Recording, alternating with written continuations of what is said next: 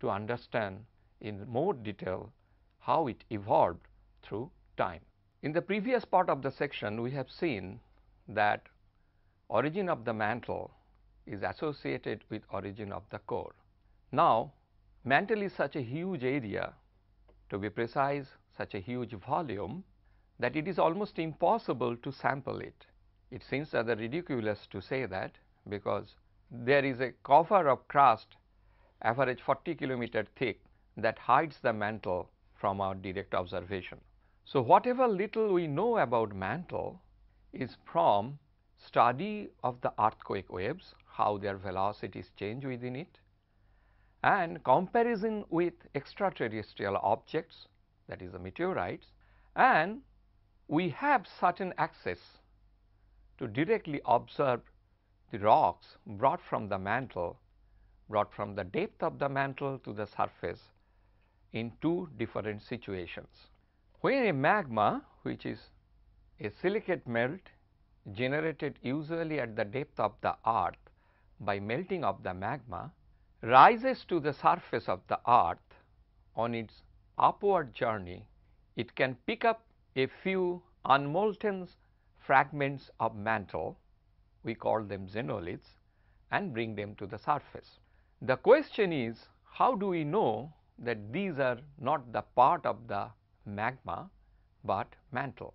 A first order observation is that there is a big difference in the color of the rock that is holding them as xenolith and those fragments. The magma melt crystallizes to form a rock called basalt which gives you usually black color in the sample. Whereas, those fragments believed to be of mantle called mantle xenoliths are deep green in color. We find that these mantle xenoliths are composed of predominantly two minerals olivine and pyroxene, both being silicates of the element magnesium with a smaller content of iron. The density of these samples as measured in the laboratory matches that of the density of the mantle measured by seismic wave velocities. So, by analogy with the meteorites, we have seen that the mantle is expected to be made up of magnesium, silicon and oxygen as the dominant constituent with a small fraction of maybe iron, our very limited, but very important direct observations of the samples from the mantle supports that. So, the general conclusion is that mantle is dominantly a zone containing mostly magnesium silicate in two different mineral forms called olivine and pyroxene. These two minerals though compositionally very similar differ in their atomic structure that is why they are classified as two different entities, two different minerals. In addition to the mantle xenoliths, there are portions on the surface of the earth where not just small fragments of mantle, but an entire section of mantle with overlying crust are emplaced on continents. These portions of mantle and the crust originally belong to oceans that is the crust underlying the oceanic water. By processes that we call tectonic processes, the rocks from this depth are brought to the surface which needs at least about 4 to 5 kilometers of vertical transportation. This amount of vertical transportation is calculated with the help of the average depth of the ocean which ranges between 4 to 6 kilometers. These sections shows association of upper mantle and then the entire section of the oceanic crust. These associations are called ophiolites and they are formed in zones of tectonism where two portions of the earth usually move towards each other and converge forming a very important plate tectonic scenario of subduction zones.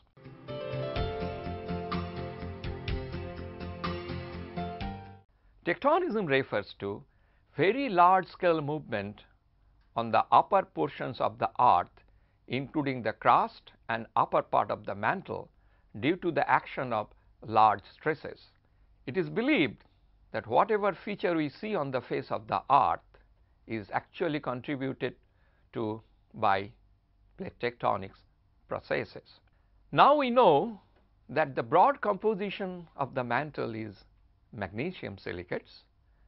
When we look into the greater details of this composition, we will try to evaluate what are the other components that are present in the mantle and how do they compare with the composition of the meteorites that in turn refers to the composition of the solar nebula.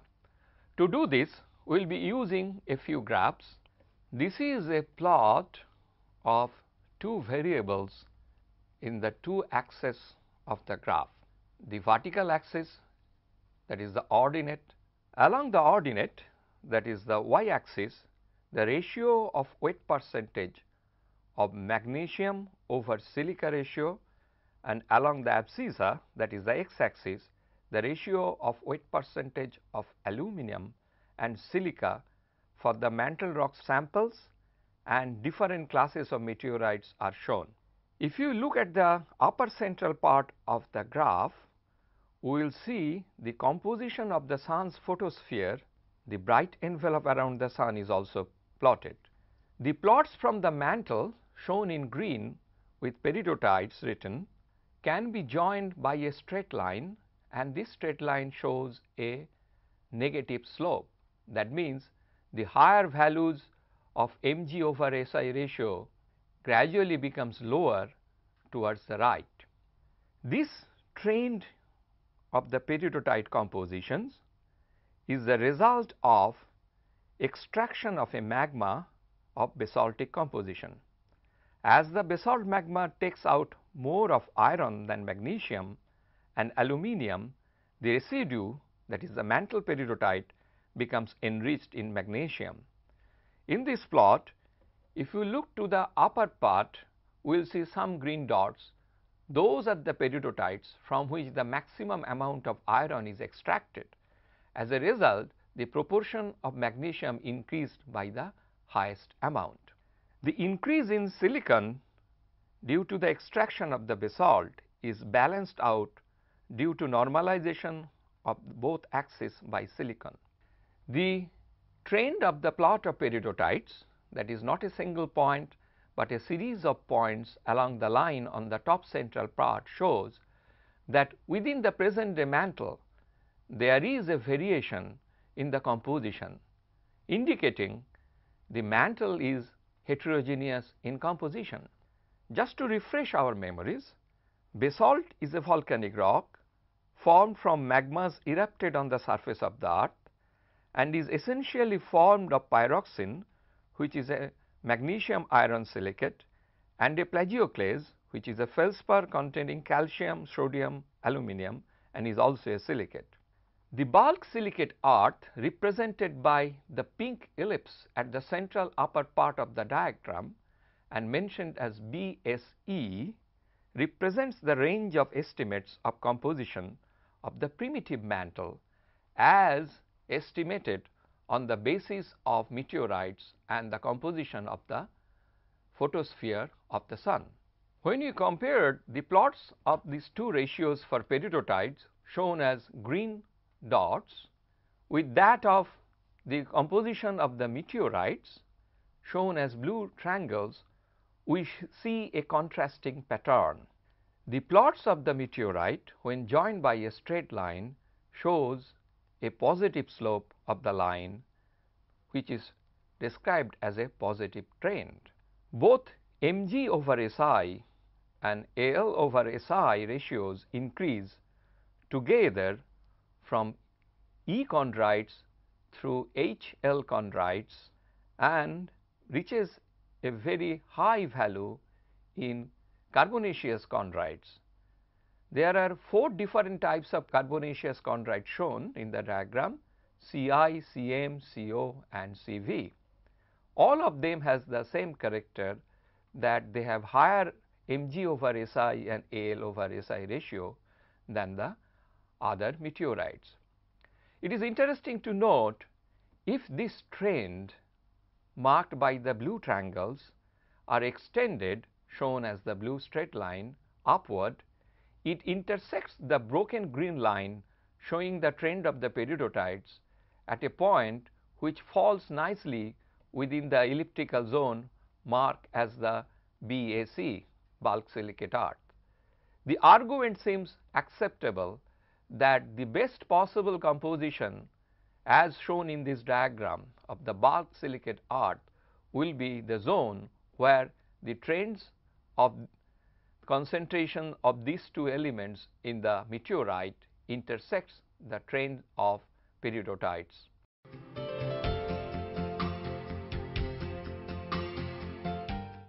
It is noted however that for certain elements whose concentration is calculated for the mantle does not match the concentration shown by the bulk silicate earth.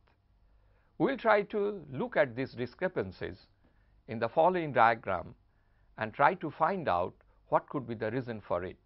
If you look at this diagram, we see in the y axis the variable is mantle normalized to magnesium and chondrites which means the concentration of an element is divided by the concentration of Mg in that sample from mantle that is the peridotite and this ratio is again divided by the concentration of the corresponding element in the chondrite meteorites. Similarly, the plots around the x axis is actually the names of the elements whose concentrations are plotted along y. If we look at the diagram, we see there are three colors used.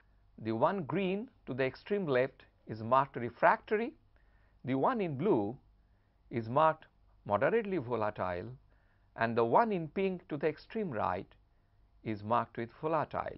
Among the refractory elements, we find there is a big drop in the concentration of tungsten in the mantle compared to that in the chondrites.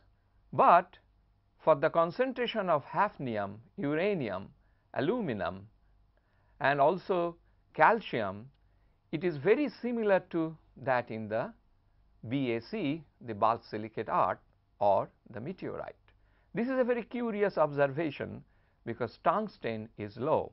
When you go to the blue curve, we see a slightly lower value for silicon, but extremely low value for gold, copper and sodium.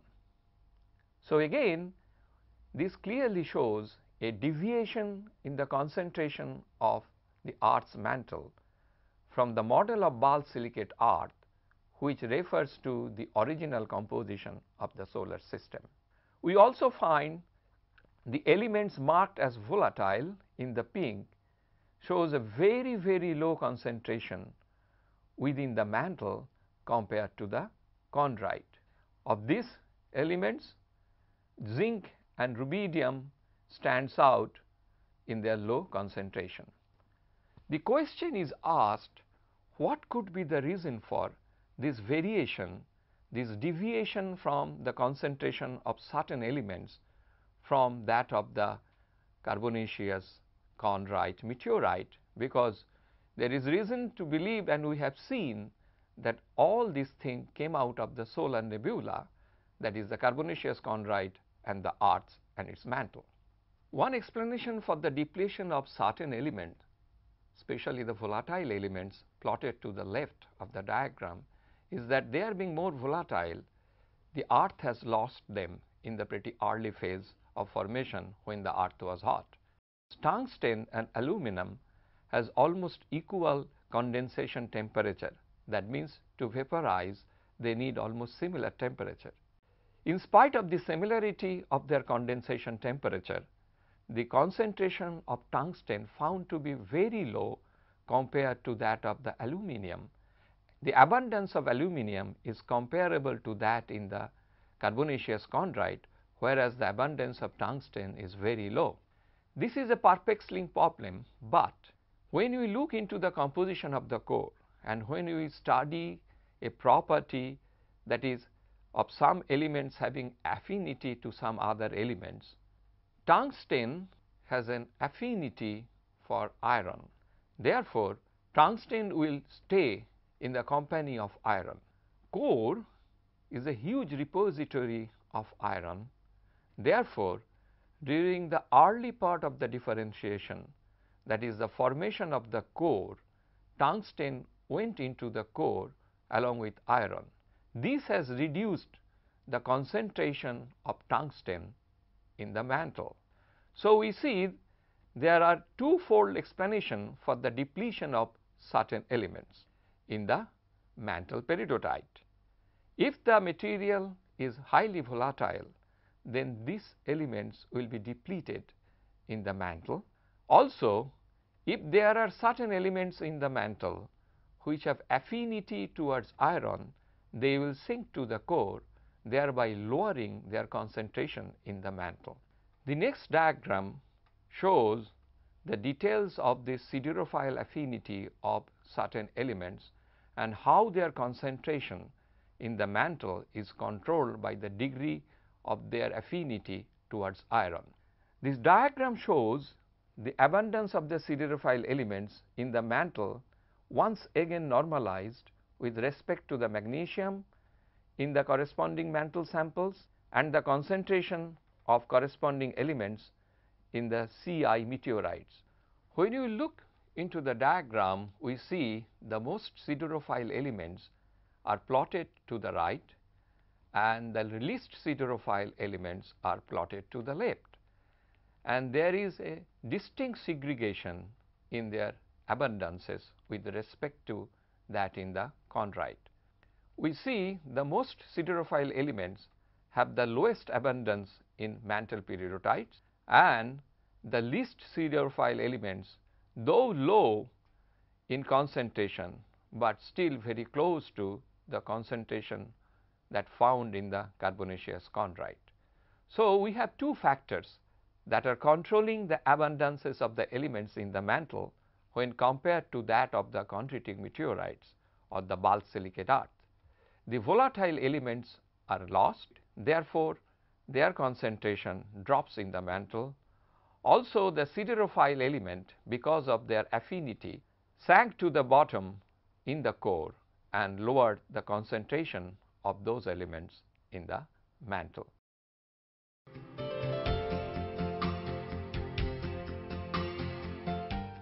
The crust poses the most complex problem regarding its average composition. The crust has two components continental crust and oceanic crust. Their elevation above the mean sea level are different. The average elevation of the continental crust is less than 1 kilometer above the mean sea level, whereas the elevation of the mean oceanic crust is between 4 to 6 kilometer underneath the mean sea level. This difference in elevation possibly reflects the difference in their composition and structure. Whatever we will be discussing in this part on crust is mainly based on direct observation of the crustal rock samples and also study of earthquake waves that pass through the crust. There is a first order difference in the composition between the continental crust and oceanic crust in that oceanic crust as is known from the samples and seismic velocities is dominated by the rock called basalt which is again dominated by iron, magnesium and silicon.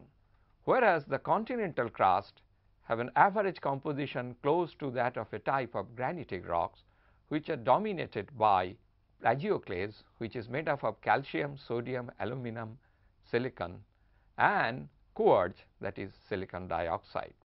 Not only there is a first order difference in the composition between these two, there is a difference much too complicated difference between the structure of these two types of crust.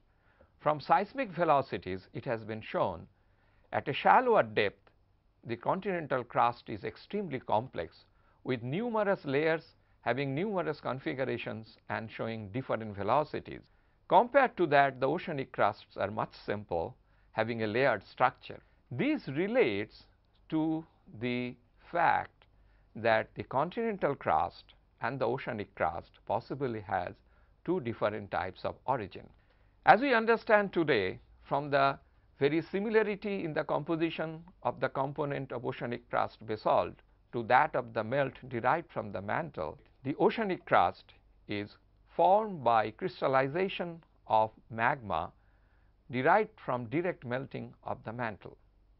Interestingly, however, the composition of the continental crust which is very close to granodioritic or dioritic, a rock intermediate in composition. The continental crust which is made up of average granodiorite or diorite, the rocks composed of almost equal amount of silicon, aluminum, oxygen, magnesium, iron, sodium and potassium, there is a first order difference in the composition of the oceanic crust and the continental crust.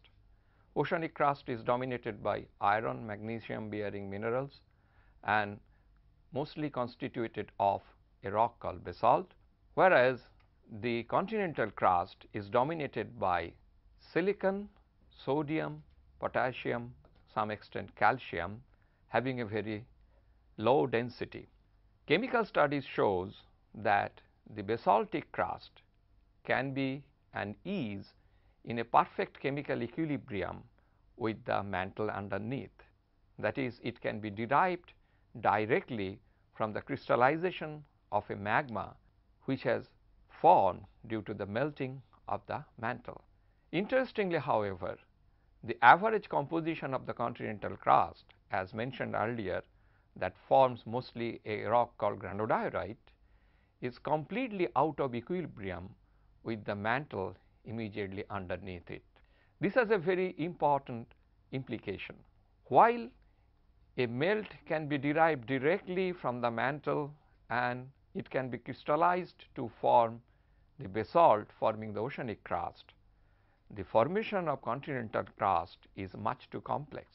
Because the composition of the continental crust is out of equilibrium with the average composition of the mantle, there must be some intermediate steps that changes the basaltic melt derived from the mantle into that of a granite. These steps are very difficult to understand and still a lot of research has been done on it. Thus, we see the continents on which we live, though very nice to us, but poses a very complex problem regarding its origin.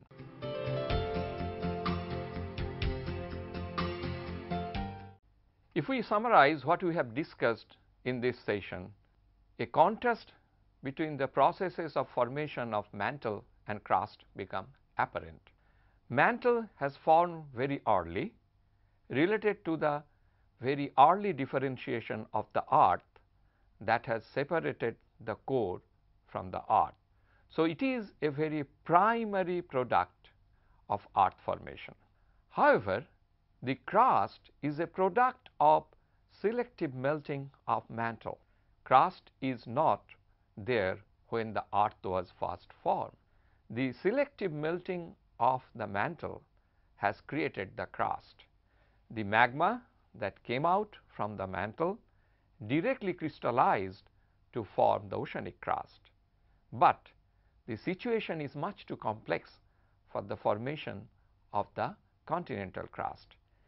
It is now believed from the study of the chemistry and geochemistry that continental crusts form at a very important plate tectonic scenario called subduction zone, where the basaltic melt are generated, they come close to the surface, but then they undergo very complex kind of chemical processes as a result of which there are two or three intermediate steps has to be crossed to reach the composition of that of the continental crust which is rich in silica and poor in iron and magnesium.